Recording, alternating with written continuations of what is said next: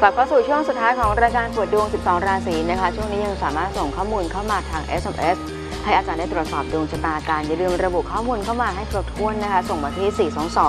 422 1606 นะคะ มากันที่ SMS กันต่อเลยค่ะ คุณดนิตานะคะ 5 ธันวาคม 2524 ค่ะ เวลาเกิดตีสามตรงวันเสาร์งานปีไหนจะรุ่งคะความจริงมันก็ถ้ามองกันในระยะยาวก็ขึ้นอยู่ว่าคุณทำอะไรด้วยนะ แต่ก่อนที่จะถามว่างานเมื่อไหร่จะรุ่งเนี่ยย่าง 36 ที่กำลังจะมาถึงเนี่ยผมใช้คำว่าเป็นห่วงก่อนดีกว่านะฮะเกณฑ์เรื่องงานเสียนะแล้วก็ฝากระวังมีปัญหากับคนที่อยู่ในระดับที่เหนือกว่า และหรือต่ำกว่าเรา หลังวันเกิดนะครับถวายชุดสังฆทานยาอย่างน้อยเดือนละครั้งครับ SMS ต่อมาค่ะ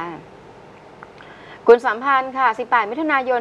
2531 เวลาเกิดเที่ยงตรงวันเสาร์งานกับเงินเป็นยังไงคะ ก็ตรงกับวันเสาร์ถูกต้องนะครับ อู้วันนี้เกือบทั้งนั้นเลยนะฮะเกณฑ์กรรมะเป็นกาลีคืออย่างนี้ฮะก็คงไม่สบายใจแหละนะแล้วก็มีโอกาสจะเกิดความเปลี่ยนแปลง แต่ในทางกลับกันความเปลี่ยนแปลงที่ว่านั้นถ้าคุณสอบผ่านปัญหาต่างๆเนี่ยมันก็มีโอกาสจะได้รับการยอมรับมากขึ้นนะเอาเป็นว่าอย่าเปลี่ยนก่อนจะมีสิ่งใหม่รองรับ กรณีถ้าอยากจะย้ายงานนะครับ ส่วนในเรื่องของเงินทองเป็นอย่างไรดาวการเงินไม่ไม่ได้เสียนะแล้วก็ยังพอมีลุ้นในเรื่องของเงินก้อนโดยเฉพาะในช่วงเดือนไตรมาสที่ 3 แล้วก็ไตรมาสแรกของปีหน้าครับ SMS ต่อมาค่ะ SMS ต่อมาคุณคุณคุณขวัญนะคะ เกิดวันที่ 11 สิงหาคม 2521 เวลาเกิด8นาฬิกา 45 นาที วันศุกร์หนี้สินโชคลาภอาชีพ โอ้ยตอนนี้ว่าเหนื่อยแล้วนะ หลังวันเกิดเนี่ยช็อตนะครับนะอาริเป็นกาลีเลย นะก็ 1 ปีเต็มๆฮะสิงหา 59 ชนสิงหา 60 ถามทำยังไงก็ 1 ลดค่าใช้จ่าย อย่าสร้างหนี้เพิ่ม ในแง่ของโหราศาสตร์นั้น ให้ชีวิตสัตว์เดือนละ 10 ตัวทำทุกเดือน เสี่ยงโชคไม่ใช่คำตอบ อาชีพที่เด่นที่สุดในพื้นชะตาของคุณ ดาวพฤหัสในดวงสวยนะทำงานในแวดวงสถาบันการเงินทำธุรกิจที่เกี่ยวข้องกับสุขภาพ หรือว่าเป็นลูกจ้างพวกมูลนิธิองค์กรที่ไม่ได้แสวงหาผลกำไร รวมไปถึงถ้าคุณอยากจะศึกษาโหราศาสตร์ก็ถือว่าดีครับ SMS ต่อมาค่ะสิบเอ่อกับวันที่ 6 พฤษภาคมนะ2537 เวลาเกิดเที่ยง 44นาทีวันศุกร์เรื่องเรียนการทำงานแล้วก็ความรักรวมไปถึงสุขภาพค่ะ สุขภาพก็ต้องดูพื้นชะตาเป็นหลักนะให้ระวังปัญหาพวกกระบอกตานะการมองเห็นนะครับ แม้กระทั่งพวกไขมันระบบเลือด ซึ่งอาจจะเชื่อมโยงถึงในเรื่องของพวกหัวใจนะอัมพฤกษ์อัมพาตดวงนี้ควรตรวจร่างกายเป็นประจำเพื่อเฝ้าระวังนะครับ เรื่องเรียนกับเรื่องงานทำอะไรตอนนี้ 23 แล้ว ถ้าดูจากช่วงวัยน่าจะเลือกสาขาแล้วนะ เกณฑ์การศึกษาในช่วงย่าง 23 นี้ทายดี อย่าประมาทนะครับ ยิ่งตั้งใจยิ่งขยันก็เกณฑ์ในการสอบแข่งขันก็ถือว่าเด่น และอะไรที่เด่นที่สุดในพื้นชะตาในแง่ของอาชีพ ความจริงอะพระหัสในดวงสวยนะถ้าทำงานในแวดวงสถาบันการเงินได้ถือว่าดีนะครับ ในระยะยาว ถ้าเป็นในส่วนของธุรกิจก็ที่เกี่ยวข้องกับเรื่องของสุขภาพ SMS ต่อมาค่ะ คุณชนทิชาค่ะ เกิดวันที่ 14 พฤศจิกายน 2531 เวลาเกิด8นาฬิกา30 นาทีวันพฤหัสบดีหนี้สินจะได้คืนหรือเปล่า โชคลาภเงินทองแล้วก็การงานเป็นยังไงคะ 14 พฤศจิกา31เนี่ยปฏิทินตรงกับวันจันทร์เลยนะครับ รบกวนตรวจสอบอีกหนึ่งรอบจ้ะ SMS ต่อมาค่ะ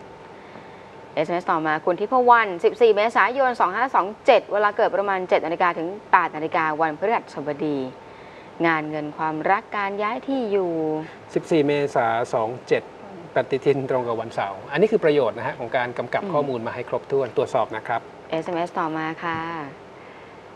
คุณปราณปริยา 2 มิถุนายน 2543 เวลาเกิดบ่ายโมง 29 นาทีวันศุกร์ เรียนงานความรักเป็นยังไงคะ ต้องระวังเรื่องงาน แต่ปีจอนี้เรื่องเรียนก็ไม่ห่วงนะนะครับ งานมีโอกาสจะคือใช้คำว่าพยายามรักษาสถานภาพให้มั่นคงเข้าไว้นะครับ ถ้ายังไม่มีงานทำก็คงต้องบอกว่าเผื่อใจหน่อย หางานคงลำบาก ส่วนความรักปีจอนี้ก็ไม่เด่นครับ มาในส่วนของอีเมลกันบ้างดีกว่า เกิดวันจันทร์ที่ 1 สิงหาคมค่ะ 2526 เวลาเกิด 7นาฬิกา2นาทีถามว่าสมัครงานใหม่จะได้หรือเปล่าคะ วันจันทร์ใช่ไหมวันคจัรับนทร์ค่ะ แล้วก็ถ้าได้จะดีไหมคือคือเกณฑ์เรื่องงานมันยังเสียอยู่ แต่ของคุณเนี่ยพอหลังวันเกิดไปแล้วเหมือนจะมีคนหยิบยื่นโอกาสหรือความช่วยเหลือนะนะฉะนั้นก็ขวนขวายหาคอนเน็ชันให้ดีๆ โดยเฉพาะถ้ามีสุภาพบุรุษที่เป็นผู้ใหญ่หลังวันเกิดแล้วอีกไม่กี่วันเนี้ยนะครับเกณฑ์ในเรื่องของงานจะจะเปลี่ยนแปลงในทางที่ดีขึ้นแต่ไม่ใช่นั่งอยู่เฉยๆนะก็ต้องขวนขวายหางานแล้วก็หลังวันเกิดไปแล้วให้ชีวิตสัตว์เดือนละ 12 ตัวครับนี่บอกว่าจะย้ายไปต่างจังหวัดด้วยย้ายถิ่นฐาน เกณฑ์ในเรื่องของการโยกย้ายถิ่นฐานอะหลังวันเกิดก็มีเกณฑ์ อาจจะเป็นการได้งานต่างจังหวัดก็ได้นะมาในส่วนของเรื่องงามยามดีวันมงคลกันบ้างดีกว่า วันมงคลในช่วงเดือนกรกฎาคมนี้ แป๊บหนึ่งนะฮะ ครึ่งเดือนแรกเนี่ยพุธที่ 6 ผ่านไปแล้ว เสาร์นี้ฮะ เสาร์ที่ 9 สามารถประกอบการมงคลได้แต่เลี่ยงออกรถประเด็นเดียวนะที่เหลือดำเนินการได้นะครับกันระโยกเป็นวันธงชัย เลิกล่างก็มีดีทีที่ดีอย่างอมฤกโชคแล้วก็ราชาโชค ช่วงเวลาที่ดีที่สุดครับ7นาฬิกา31ถึง8นาฬิกาแต่คนที่เกิดวันพฤหัสควรจะหลีกเลี่ยง ต่อด้วยอาทิตย์ที่ 17 วันนี้ได้หมดนะไม่ได้มีเงื่อนไขหรือข้อห้ามแต่อย่างไรนะครับ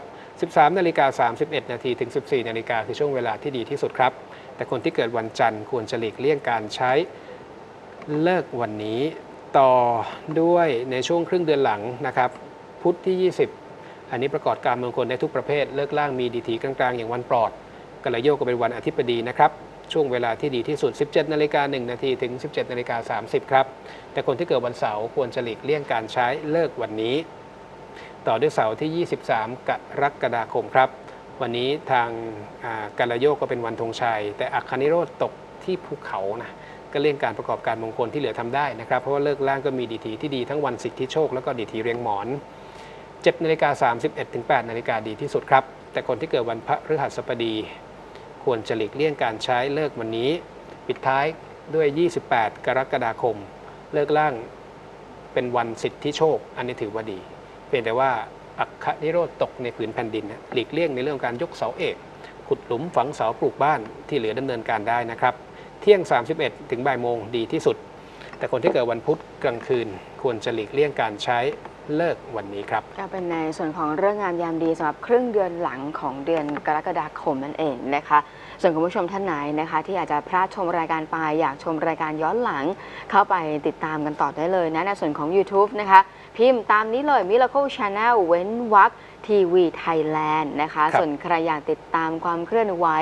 กิจกรรมต่างๆ ข่าวสารต่างๆนะหรือว่าอ่าก็เข้าไปทวนนะภาพรวม 12 ราศีของในแต่ละวัน แล้วก็อย่างที่บอกว่าล่าสุดนี้ก็มีของสุดสัปดาห์แล้วด้วยจ้ะนะก็ติดตามกันได้ Facebook Fanpage นะคะ Miracle Channel TV เข้าไปกดไลค์เข้าไปกดถูกใจกันนะคะ รวมไปถึงท่านไหนที่อาจจะมีคำถามต่างๆนะคะ นอกจากการส่ง SMS การโทรเข้ามาลงทะเบียนในแต่ละวันแล้วนะคะ ฝากเรื่องราวฝากดวงชะตาเข้ามาได้นะคะ ไม่ว่าจะเป็นในส่วนของ email address miracle underscore ch at hotmail com นะคะหรือว่าในส่วนของเว็บบอร์ดเองก็ตามนะคะรวมไปถึงจดหมายด้วยนะคะ เราเปิดรับทุกช่องทาง ก็จะนำมาตอบกันในช่วงของท้ายรายการแบบนี้นะคะ ใครมีคำติชมแนะนำหรือว่าอยากพูดคุยกัน นะคะทักทายการบอกกล่าวการฝากดวงชะตาเข้ามาตามที่อยู่ด้านหน้านี้ก็สามารถที่จะฝากเรื่องราวดีๆเข้ามาได้นะครัคะ บ แล้วก็อย่าลืมนะเรามีกิจกรรมจะเจอเจอกันวันที่ 24 กรกฎาคมเนาะใครลงทะเบียนแล้วรักษาสุขภาพให้ดีนะคะ อีก 2 อาทิตย์กว่าๆเอง ครับน่าจะได้เจอเจอกันนะใครที่ยังไม่เคยได้